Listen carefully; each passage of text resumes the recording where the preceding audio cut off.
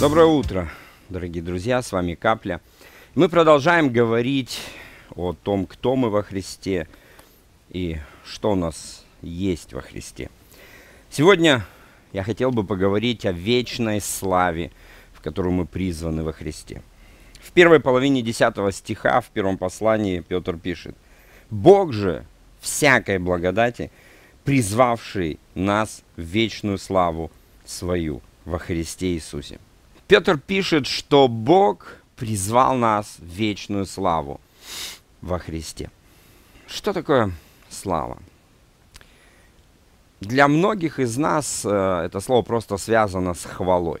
Но мне думается, что слава Божья, опираясь на э, прообразы Ветхого Завета, опираясь на э, слова Павла, слова Христа, слава Божья в библейском понимании в большей мере связана с присутствием Бога. Я на сто процентов уверен в том, что Бог присутствует абсолютно везде и абсолютно всегда. Об этом учит Писание. Однако являет себя,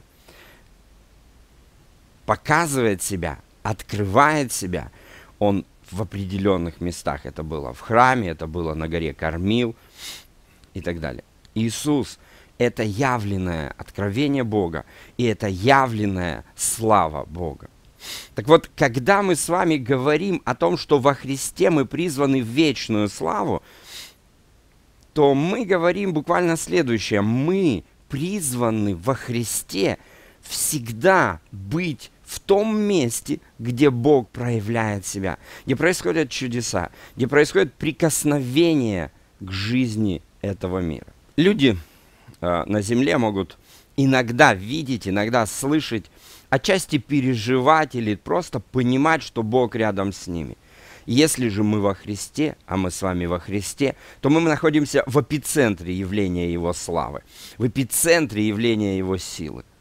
И чем ближе ты приближаешься к Богу, чем глубже ты погружаешься во Христа, чем больше ты посвящаешь Ему свою жизнь, тем ближе ты находишься к тому месту, где всегда что-то происходит.